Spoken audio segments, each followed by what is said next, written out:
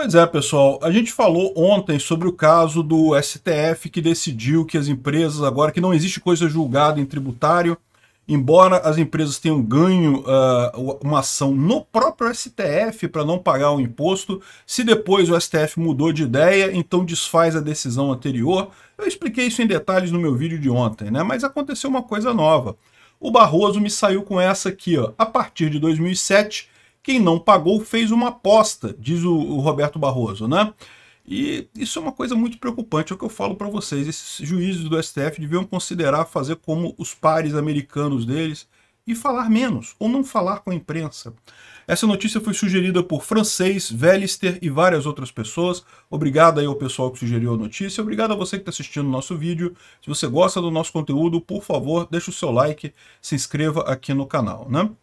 Pois bem, como eu expliquei no vídeo de ontem, só fazendo uma rápida recapitulação, qual é a história? Né? A história é que aqui no Brasil existem dois tipos de controle de constitucionalidade, o difuso e o direto. Então, o difuso é quando cada empresa entra com um pedido de, de inconstitucionalidade de um determinado item para não se aplicar para ela. Então, a empresa prova que aquilo ali é inconstitucional, então não tem que pagar com esse, esse, esse imposto.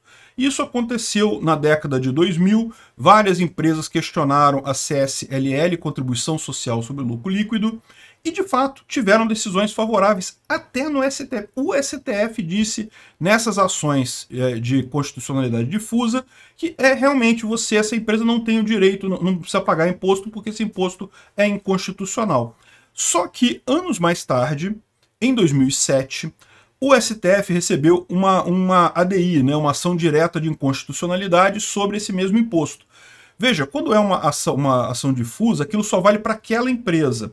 Quando é uma ação direta, vale para todas as empresas do Brasil. Então, se o STF decretasse que uh, houve uh, inconstitucionalidade na CSLL, nenhuma empresa mais precisaria pagar CSLL. Só que, ao contrário, nessa época, o pessoal do governo foi lá e falou, pô, peraí, né, olha só, vai sacanear a gente, coisa e tal. Aí o STF resolveu mudar de ideia, e aí decretou a constitucionalidade dessa lei.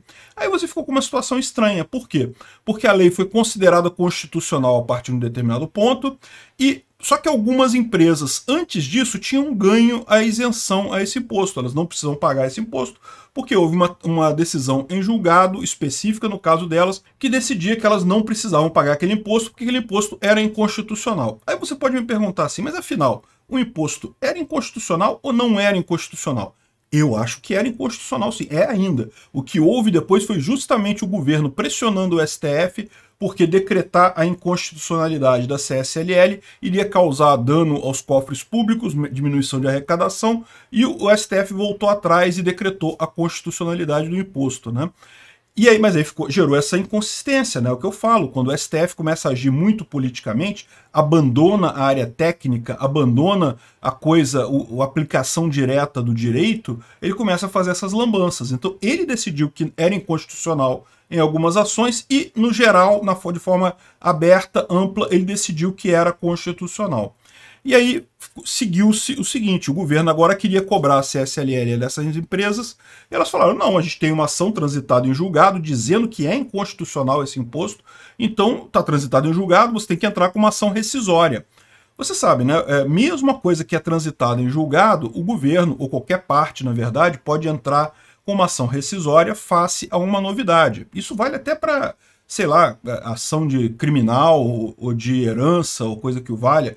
Você tem uma, uma, uma, um processo que você fez parte na separação, por exemplo, e, e, transitou em julgado. Acabou o processo, transitou em julgado. Transitar em julgado quer dizer que não tem mais nenhum recurso. Não tem como fazer mais nenhum recurso, acabou, já está decidido. Mas de repente surgiu uma informação nova. No meio daquele negócio ali você descobriu uma prova nova, uma coisa que não tinha aquela informação na época e você tem agora. Você pode entrar com uma ação rescisória e tentar rever a coisa toda. Né? E é isso que o governo tinha que fazer, tinha que entrar com ação rescisória contra essas empresas para conseguir reverter essa história de que a, a, decisão já tinha chegado até o final é, na hora de pagar, o, na questão de pagar o imposto. Né? E daí o governo não queria fazer isso. Aí ficou essa, essa, essa que foi a briga que foi decidida é, ontem, né? na verdade foi decidida anteontem, que é, não no momento que o STF declara que o imposto é constitucional, isso vale inclusive para ações que tenham transitado em julgado. É o que eu falei ontem, eu expliquei no vídeo de ontem, o grande problema dessa história toda é, é a, a, a idiotice do legislador brasileiro, que para não decidir nada, decide tudo ao mesmo tempo. É, é no mundo todo existem dois tipos de controle de constitucionalidade, o modelo americano e o modelo austríaco. Qual dos dois é melhor? Qual dos dois é pior? Não sei. Eu gosto mais do americano, mas a verdade é que tem é, argumentos bons para os dois lados. Né? O fato é que na hora de decidir, o constituinte chegou aqui, ah não, vamos adotar os dois. E aí você tem, o que a gente está vendo aqui é justamente o conflito dos dois, das duas coisas. A, a decisão em, é, é, difusa está chegando de um lado e a decisão direta chegando do outro. E aí, quando você tem duas decisões diferentes, como é que você faz, né? Gerou toda essa, essa lambança que a gente está vendo aí, né? Enfim, uh, e mais do que isso, eles, eles, negaram a modulação temporal. O que, que é modulação temporal? O STF, quando julga uma ação uh, de grande importância para a economia ou para as empresas, para a sociedade como um todo, é, ele entende que isso vai ter um impacto na sociedade. Então ele pode falar assim, olha só, é, é, ok, decidimos que todo mundo teria que pagar imposto desde 2007 até aqui, mas a gente entende que isso vai gerar um impacto muito grande, vai gerar muita quebradeira entre empresas, vai ter um problema muito sério no mercado, então vamos modular isso. O que é modular? Ele pode dizer que vai valer a partir do ano tal. Os empresários queriam que valesse daqui para frente. Então, ok, tem que pagar o CSLL, a gente paga a partir daqui. Então, de 2023 em diante, tem que pagar o CSLL. O passado deixa para lá. Mas o STF podia ter escolhido qualquer ano, né? Modulação temporal eles podem dizer qualquer ano. Podia dizer, não, vai valer a partir de, sei lá, chutando, 2015. A partir de 2015 vai ter que, vai, vai ter que valer isso, essa lei, né? Então, isso é modulação temporal, mas o STF negou essa modulação temporal, ou seja, a lei retroagiu até o início, até o ano de 2007, quando surgiu esse grande problema. Né? E com isso, muitas empresas ficaram com perdas bilionárias é, por conta dessa cobrança retroativa. É um bocado de imposto que esse pessoal vai ter que pagar. Vai ter muita empresa que vai acabar quebrando. Né? É lógico, não é interesse para o governo quebrar a empresa, então muito provavelmente eles vão fazer um acordo de, é, de parcelamento dessa dívida para ir pagando aos poucos, mas uh, a verdade é a seguinte, né? Uh, como diz o, o, pessoal aqui do Estadão, evidentemente, isso aí foi para ajudar o Lula. Isso aí dá dinheiro para o caixa do Lula. Foi uma forma de dar dinheiro para o Lula, eh, ajudar o governo Lula nesse ano. Né? Claramente o STF fez isso para ajudar o governo Lula. Então, é, esse é o problema dessa história toda, no final das contas, não tem nada a ver com direito, o STF não analisou a coisa do ponto de vista jurídico, tomou uma decisão puramente política e que vai acabar piorando a situação, sabe por quê? Porque embora isso vá colocar dinheiro no caixa do governo, isso vai tirar dinheiro da economia brasileira, isso vai quebrar empresas, vai dificultar mais a vida das empresas num ano que já promete ser um ano de recessão, né? Isso pode acabar saindo pior para o Lula do que o pessoal está imaginando. Mas o pior dessa história toda foi justamente o Barroso vir com essa, né? É o que eu falo juiz de Suprema Corte, lá nos Estados Unidos, eles quase não dão entrevista. Quando dão entrevista é para falar de, da, da, infância deles, da, da época da faculdade, né, lições de vida e coisa e tal. Eles nunca falam sobre direito.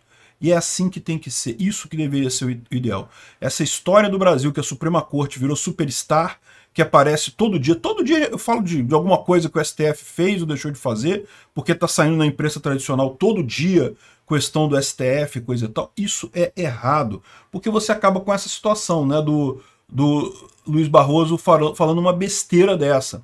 Ah não, quem não pagou fez uma aposta.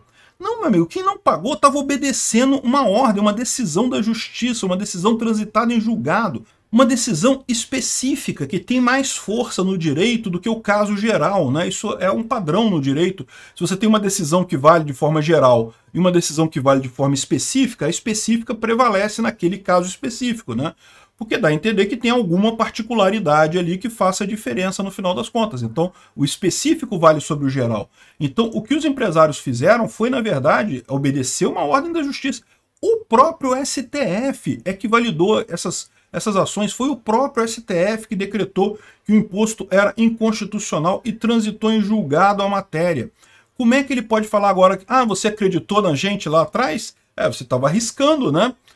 Olha que absurdo isso, olha que loucura o que esse cara está falando. E agora então que você pode trazer isso para o presente e, e, você vai confiar agora em alguma decisão do STF agora? Porque qualquer decisão que o STF pode, possa, pode tomar agora, uh, você vai confiar nela, amanhã ele pode mudar de ideia e reverter tudo e dizer que você tem que pagar tudo de novo e coisa e tal acabou a segurança jurídica no Brasil. Não tem mais nenhuma segurança jurídica no Brasil. Esse tipo de coisa aqui é uma mancha na credibilidade da, do governo brasileiro como um todo, da justiça brasileira como um todo. E é o que eu falo para vocês, né? Como libertário, é aquilo que eu falei no vídeo de ontem mesmo. Não existe justiça quando ela é estatal. Se ela for estatal, ela automaticamente não é justiça, porque tem um dos lados, tá, é, um dos lados, tá, é, uma das partes é a justiça, então pô, como é que vai ser a justiça? Como é que vai fazer justiça quando quem julga está de um dos lados, né?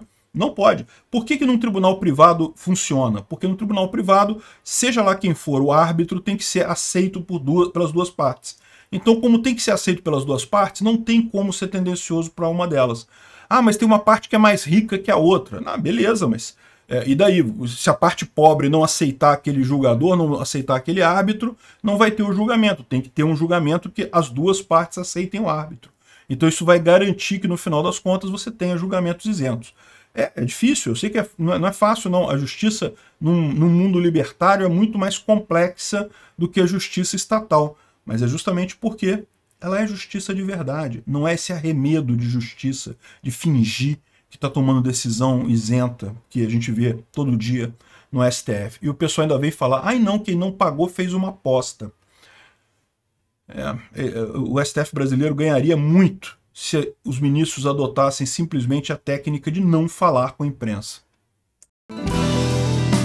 Obrigado por assistir o vídeo até o final. Além de curtir, compartilhar e se inscrever no canal, considere se tornar patrocinador com valores a partir de R$ 1,99 clique no botão Seja Membro abaixo para saber as condições e vantagens de patrocinar o canal. Mais informações sobre o nosso projeto, visite nossos sites indicados na tela.